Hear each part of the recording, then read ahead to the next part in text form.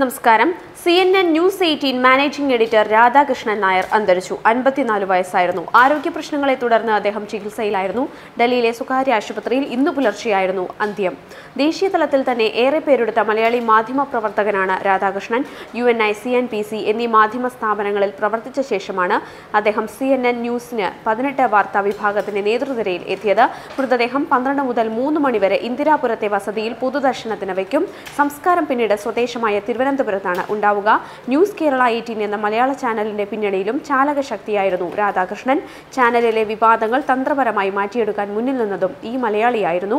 രാജദീപ് സ്വദേശിയായിരുന്ന നേതൃത്വത്തിൽ തുടങ്ങിയ C N N I B N channel Ambani ഏറ്റെടുത്തതോടുകൂടിയാണ് ചാനലിന്റെ മുഖ്യ ചുമതലക്കാരനായി രാധാകൃഷ്ണൻ നായർ മാറിയത്. പേരുമാറ്റി channel C N N news eighteen എന്നാവുകയും ചെയ്തു. ഇതിനുശേഷമാണ് ഈ ടി വിയിൽ സി നിന്നും ന്യൂസ് എയ്റ്റീൻ കേരള എന്ന മലയാളം ചാനൽ ഉൾപ്പെടെ ഗ്രൂപ്പ് സ്വന്തമാക്കിയത്.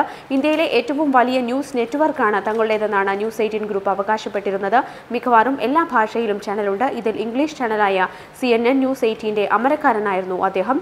ഭാര്യ ജ്യോതി നായർ ആദായ നികുതി വകുപ്പ് ഓഫീസറാണ്. മക്കൾ കാർത്തിക കീർത്തന പിതാവ് രമേശൻ നായർ മാതാവ് സുശീലാദേവി.